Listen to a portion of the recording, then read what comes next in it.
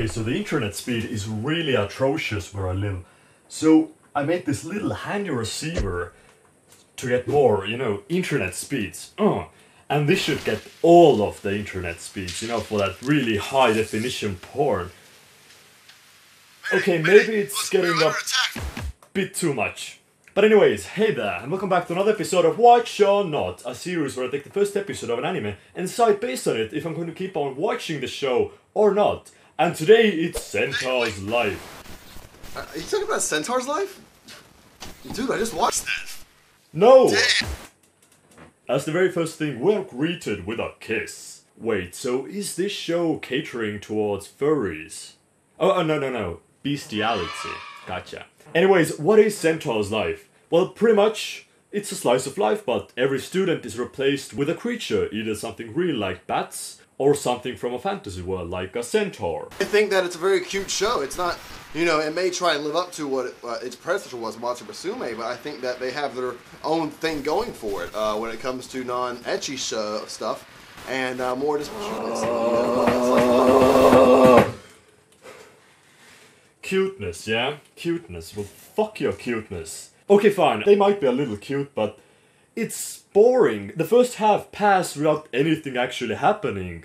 The second half did bring in some interesting elements by giving us a backstory of how this happened, why people are like they are, kind of even mocking our civilization right now because we evolved differently than they. I was so bored out of my mind that I was grasping for any bit of interesting information that they could give. So when she finally told us that she could run 100 meters in 9 seconds, I actually got interested in it. Like, of course, centaurs don't exist in our world, but horses do. So could that be realistically possible?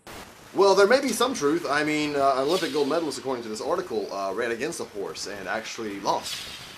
Why though? Well, because he... No, that was a rhetorical question. I don't give a shit. Oh, fuck me. Okay, this explains everything.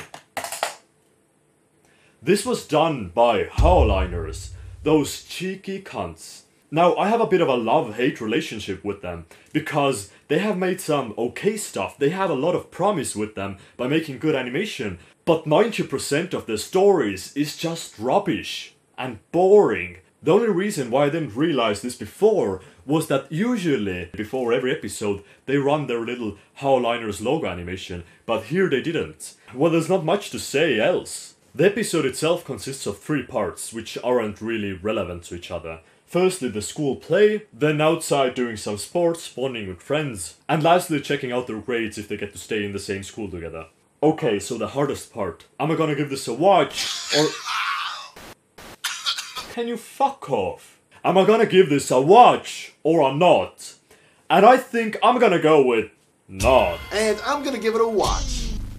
Okay, so why do you want to give it a watch? Well, I think for what it is, you have to look back into its root. It's a slice of life show with a unique, not so unique twist to it. So people who go into a show for slice of life and want nothing more are going to get more than what they ask for because it also has their own unique twist to it. Uh, for people who are wanting a really great show this season, are probably not going to see anything in that. So I would say, out of the majority of the shit season, um, go and watch it if you just kind of want um, this a slice of life. You know, I think that's uh, that's all it really is existing for. It's not trying to be the best. It's not trying to be something amazing and unique. It's just a copy and paste of slice of life with some really monster aspects to it. And some of us just want that. That's all we want. Yeah, exactly. And that is also why I'm giving it a not because it's just pure mediocre. There isn't anything special to it. And if you're just in for another slice of life, then there are much better ones out there right now, even in our summer season.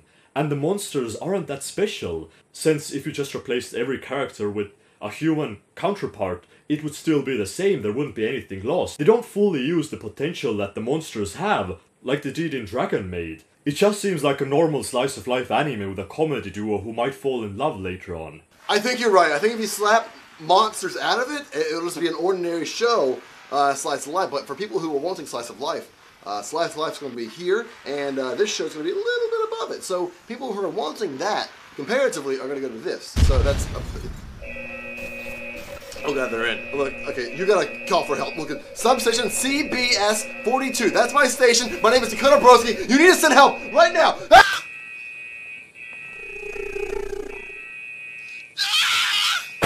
Okay, cool, so we agree. This show can go fuck itself. Anyways, thank you guys for watching. I hope you enjoy. Oh God! Make sure I'm good God!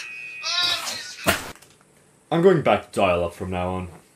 Anyways, thank you guys for watching, and a huge shout out to Dakota Broskie for being in my video. He's such a lovely guy. I'm gonna give a word to him now. Hey guys, my name is Dakota Broskie. Thank you, uh, Moonin, for letting me into this, uh, this uh, episode of Watch or Not. If you like my stuff, go ahead and over to my channel, Dakota Broskie, at uh, Dakota Broskie Anime TV, where I do reviews, parodies, and actually no reviews anymore. I just do topical videos. Sometimes I do a review, whatever. I don't care. Anyways, my name's Dakota Broskie. Just come join us. We're having fun here, right? Right? Uh, I look forward to working with Moon in the future. Uh, we definitely have another video planned out for my channel, and it's going to be great. So So you can check his channel out down here and his recent videos here. Anyways, I'll see you guys soon. And don't forget to bestiality that like button.